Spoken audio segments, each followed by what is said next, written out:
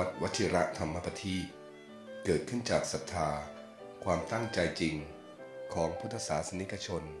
ที่อาศัยอยู่ในนิวยอร์กและรัฐใกล้เคียง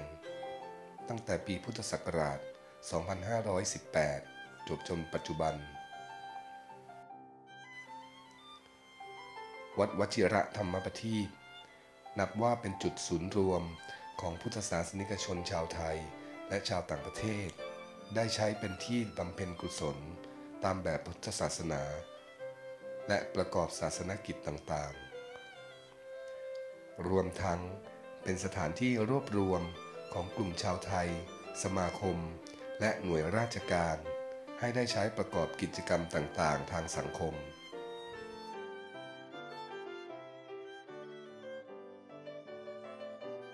วัดวชิระธรรมปทีป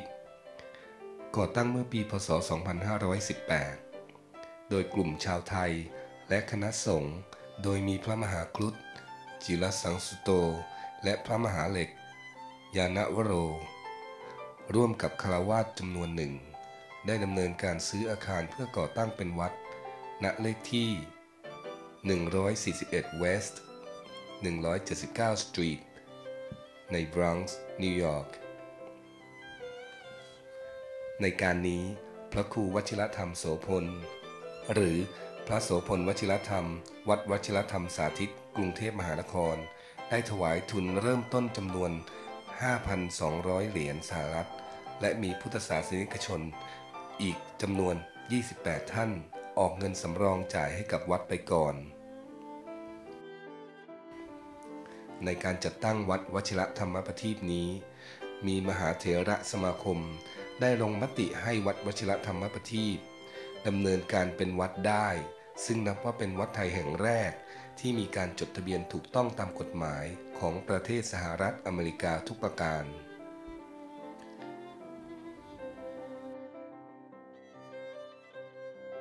วันที่ 27 พฤศจิกายน พศ 2518 ทางวัดได้อาราธนาเจ้าพระคุณสมเด็จ ระวรรณรัตน์วัดสังเวชวิทยาราม กรุงเทพมหานคร กรรมการมหาเถระสมาคม มาเป็นประธานเปิดป้ายวัดหลวงพ่อได้มาอยู่ที่วัดนี้วันวันที่สิบสี่มีนาคมสองพันห้าร้อยยี่สิบห้าที่วัดอยู่ในบรอง สมัยนั้นวัดอยู่ในบรองนั้นมันเสื่อมโทรมมากอ่าพวก คนดำอยู่มาก แล้วก็พวกคนขาวนี้ไปหมดล่างหมดเลย พอกลางคืนมาญาติโยมไม่กล้ามาวัด กรรมการวัดก็พยายามจะหาซื้อวัด แต่ยังไม่ได้จนขนาดขนาดพระเดินไปโดนเข้าป่าหัวเจ้าคุณสังวานที่อยู่ที่เชียงใหม่ อยู่ด้วยกัน เดินหลวงพ่อไปกับหลวงพ่อเดินไปจะไปขึ้นไอ้รถสับเวที่เบิร์นไซด์เจ้าคุณสังวานเดินออกข้างนอกหลวงพ่อเดินวิ่งเข้าไปในอันนั้นมันปามาพอดีข้างที่หนึ่งไม่ถูกข้างที่สองข้างที่สามใส่หัวเลยแตกเพราะนั้นราชโยมก็เลย บอกว่าย้ายย้ายย้ายต้องรีบหาซื้อที่ไหนก็ หาไม่ได้ หาเป็นที่วัดหลวงพ่อก็เลยมา ตกลงไปซื้อที่วัดที่อ่ามาวานอน ที่เจ็ดรุดมันเลขที่เจ็ดสิบห้าแคลิฟอร์เนีย ดูที่แรกก็ว่าเป็นวัดได้ ซื้อในราคาสามแสนห้าสองหมื่นนะตอนนั้นเงินเขาหาไปแล้วซื้อตกลงซื้อ ซื้อแล้วก็ไอ้ วัดที่ข้างๆที่วัดแขกเขาซื้อนั่นเขาจะขายกันนะแต่ญาติโยมมาประชุมกันบอกว่า เราเป็น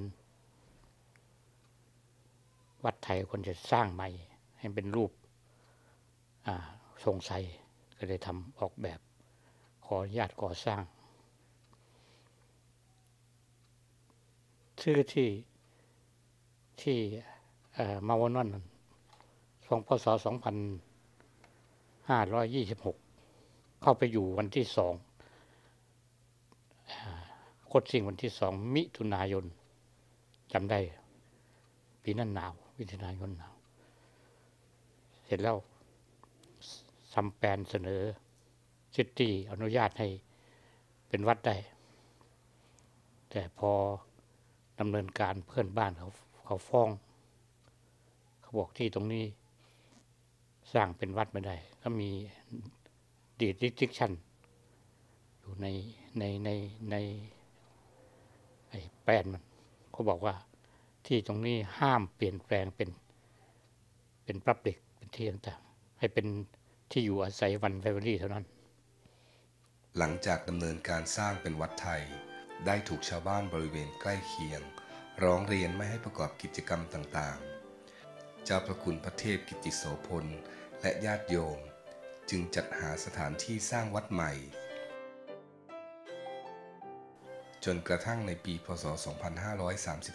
2534 ได้จัดหาสถานที่เหมาะสมกับการสร้างโบสถ์และประกอบกิจกรรมทางสงฆ์รวมทั้งสามารถจัดงานต่างๆ ของชาวไทยได้อีกด้วย ที่เลขที่ 110 ถนนรัสติกเซนเตอร์ริชในลองไอแลนด์ ณวัดวชิรธรรมประทีปลองไอแลนด์นี้เอง มีสถานที่โอ่โถงมี hall จัดงานสามารถจุคนได้ถึง 1,000 คน มีลานจอดรถถึง 300 คัน มีสถานที่พำนักสงฆ์และชั้นล่างยังสามารถเปิดเป็นห้องโรงเรียน สอนพุทธศาสนาและภาษาไทยในช่วงวันอาทิตย์ และภาคฤดูร้อนได้อีกด้วย งานบริการของวัดวชิรธรรมประทีปต่อชุมชนชาวไทย และชาวต่างประเทศ ได้แก่ การเปิดสอนโรงเรียนพระพุทธศาสนาวันอาทิตย์ ซึ่งจัดสอนทั้งพระพุทธศาสนา ภาษาไทย วัฒนธรรม และนาฏศิลป์ไทย ให้กับเยาวชนที่เกิดและอาศัยอยู่ในนิวยอร์กและรัฐใกล้เคียงโครงการสอนภาษาไทยภาคฤดูร้อน ซึ่งทางวัดได้ร่วมกับจุฬาลงกรณ์มหาวิทยาลัย ได้จัดส่งอาจารย์อาสาสมัครมาเป็นครูสอน โครงการดนตรีและนาฏศิลป์ไทย โดยจุฬาลงกรณ์มหาวิทยาลัย ได้จัดส่งครูอาสาสมัคร เข้ามาสอนและพำนักอยู่ที่วัดเป็นเวลาหนึ่งปีเทอม การส่งเสริมศิลปะวัฒนธรรม ทางวัดได้จัดส่งครูและนักเรียนจากโรงเรียนวชิรธรรมประทีป เป็นตัวแทนของประเทศไทยไปแสดงในงานต่างๆ ตามที่หน่วยงานราชการร้องขอ หรือกลุ่มชน สมาคม ทั้งไทยและต่างประเทศ ซึ่งจัดได้ว่าทางวัดมีส่วนช่วยเหลือในการเผยแพร่ชื่อเสียง ศิลปะวัฒนธรรมของประเทศไทยอีกด้วย การส่งพระธรรมทูตไปเผยแพร่ศาสนาพุทธ ตามสถานศึกษาต่างๆ ในรัฐนิวยอร์ก วัดวชิรธรรมประทีปนิวยอร์กภายใต้การดูแลบริหารของพระเทพกิติโสพล เจ้าอาวาสและประธานสมัชชาสงฆ์ไทยในสหรัฐอเมริกา เป็นแหล่งศูนย์รวมจิตใจของพระพุทธศาสนิกชนชาวไทย และชาวต่างชาติมามากกว่า 30 ปี เปิดให้บริการทางศาสนกิจต่างๆ กับสังคมชาวไทยในนิวยอร์กและรัฐใกล้เคียง รวมทั้ง กิจกรรมทางสังคม รวมถึงการเผยแพร่ และการส่งเสริมภาพพจน์ของประเทศไทย ทั้งทางตรงและทางอ้อม ในปัจจุบัน วัดวชิรธรรมประทีปมีถึงสองแห่งด้วยกันคือ เลขที่ 75 ถนนแคลิฟอร์เนียเมาท์เวอร์นอน และเลขที่ 110 ถนนรัสติก ลองไอแลนด์ เพื่อความสะดวกในการเดินทาง ของญาติโยม และพุทธศาสนิกชน ที่มาประกอบศาสนกิจต่างๆ โดยทางวัดยังจัดให้มีวารสารธรรมประทีปประจำทุกเดือน เพื่อแจกจ่ายให้กับญาติโยม และจัดให้มีเว็บไซต์ เพื่อเป็นการประชาสัมพันธ์ข่าวสารข้อมูลให้ทันสมัยยิ่งขึ้น วัดวชิระธรรมประทีปนิวยอร์กจึงเป็นสถานที่ยึดเหนี่ยวจิตใจ สร้างความสามัคคี ในหมู่พุทธศาสนิกชนชาวไทย และชาวต่างชาติ มาตั้งแต่อดีต ปัจจุบัน และต่อไปในอนาคต